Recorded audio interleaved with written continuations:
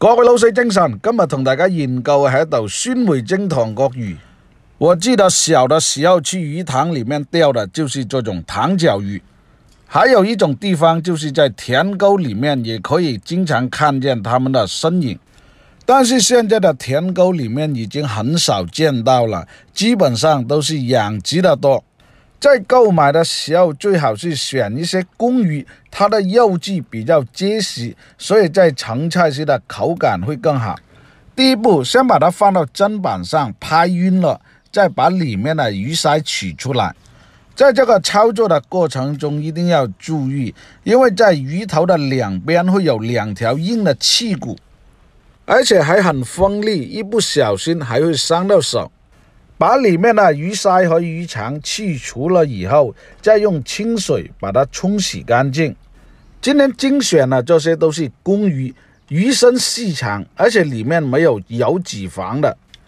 糖角鱼本身的肉质细嫩，而且刺骨偏少，非常适合用蒸制的方法。清洗干净了以后，再把它放到砧板上面，给它打上花刀。这样不但在蒸制的时候加快它的熟度，而且还会更入味。在打花刀的时候，在鱼身上切入它的宽度的三分之二，不要切断，让整个鱼身连在一起。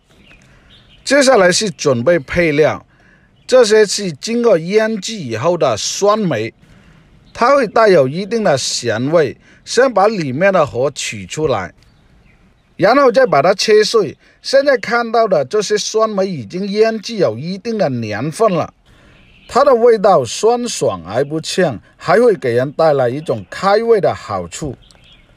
料头除了酸梅以外，还有适量的姜丝，切好后把它放和鱼一起开始调味。适量的酸梅汁、盐、生抽、料酒，可以起到一种去腥增香的效果。调好后，再把它搅拌均匀。下一步，直接把它有序的摆放在盘子上面。加入酸梅一起蒸制的好处，不但提升鱼肉的鲜味，而且还会更醒味。摆好后，再把它放到蒸锅里面，上气后开始涮起，整个蒸制的时间大约在六分钟左右。时间到，把盖子打开，先用个筷子夹一下，看是否熟透。